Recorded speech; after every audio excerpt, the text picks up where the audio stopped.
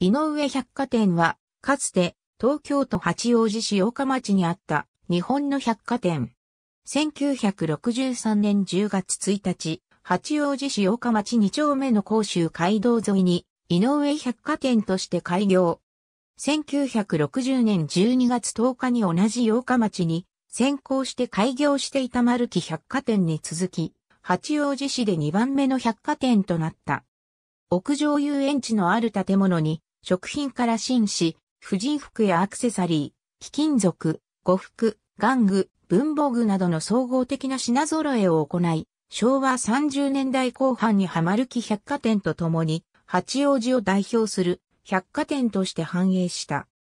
しかし昭和40年代に入り、同じ甲州街道沿いで、八王子駅寄りの横山町が繁華街の中心となり、八日町が衰退した影響を受けて、時期が若干ずれるもの、丸木百貨店とほぼ同じ開業から8年足らずの1971年7月に閉店し、その歴史に終止符を打った。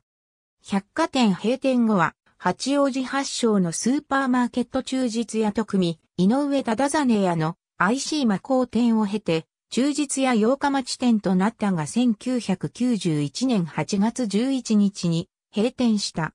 建物は、その後、シダックス八王子八日町クラブとなっていたが、2011年3月31日に閉店し、2012年に解体された。